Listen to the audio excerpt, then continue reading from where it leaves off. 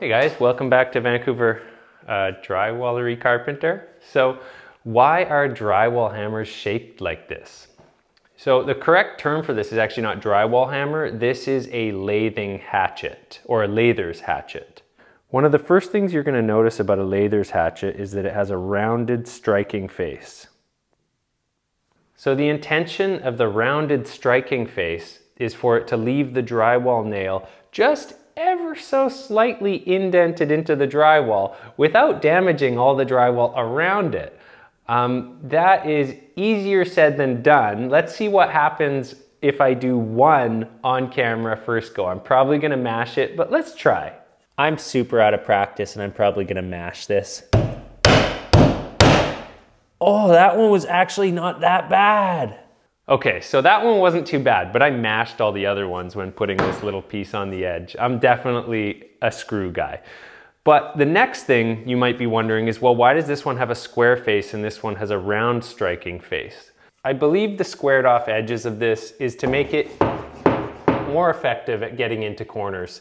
Basically, I've got a wider striking face right here, whereas if it was round, I would have much less of it.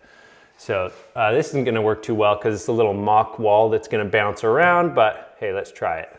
And I did the totally wrong side to make it easy. But that's the general idea. That squared off striking face makes it easier. Should we try the round one real quick?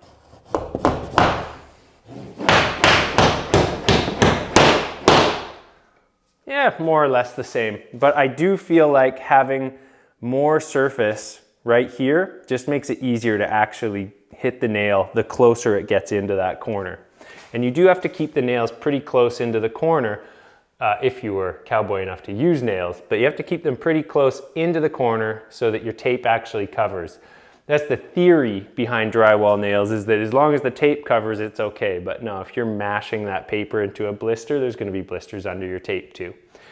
Anyways, let's get back to the hammer because we've switched subjects. So before we get to this business end, you guys, one last feature on here is the nail puller. It does work. It's not the best, but it will pull out some small nails.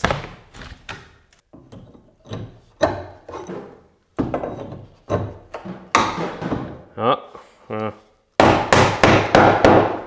A regular hammer uh, a regular hammer was just as effective at pulling the head off that nail too. but that's what it's for. Some of you guys that already know what this hammer is for might know what this is. Let's get this thing turned around and we'll get into what we're doing here. So finally, we are going to get into why this is called a lathing hatchet. So what I've done is I've mocked up some lath from Lath and Plaster. So this hatchet is a carryover from the old school lath and plaster days. Now you gotta think, when guys were installing those thousands and thousands and thousands of strips of lath, obviously they didn't have cordless circular saws back in the day, and setting this up on a table and cutting each piece with a saw would have been ridiculous. So I'm sure they also had much sharper hatchets than this one. This one's really dull, it hasn't been sharpened or anything. But basically, Instead of cutting it, it was a quick, and then they'd carry on nailing it off with much smaller nails than this. I'm sure it was like one to set, boom. Anyways, that is what a lather's hatchet, that's what this business end here was for.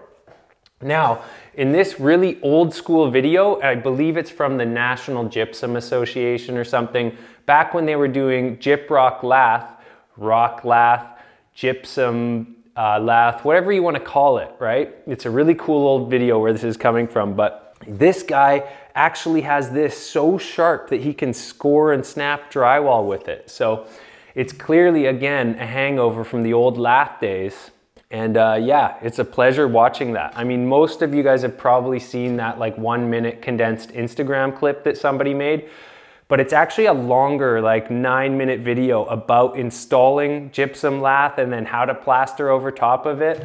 I recommend watching it. I'm gonna link it in the description below. Uh, it's a super cool video. It's kind of funny, 1950s. Like that guy who's doing all the installing with this thing is awesome. I love watching him. He clearly knows what he's been doing and doing it a long time.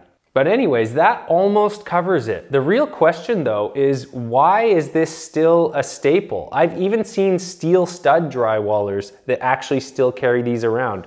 And the uh, profession of steel stud is also often known as a lathing carpenter or a lather. It's still literally called a lather, but what they're actually doing is steel stud framing and then often installing board over top of that.